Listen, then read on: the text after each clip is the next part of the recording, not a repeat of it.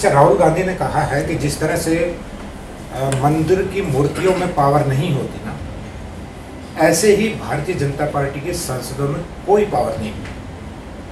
वो रिमोट की तरह चलते हैं।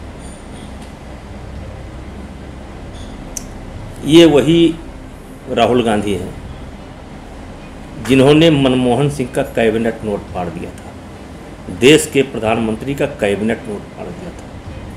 और शायद प्रकरण भी वही था जिस प्रकरण में जेल गए। तो एक सामान्य सांसद राहुल गांधी पार्टी के नेता हो सकते हैं, लेकिन एक सांसद जो प्रधानमंत्री का नोट फाड़ दे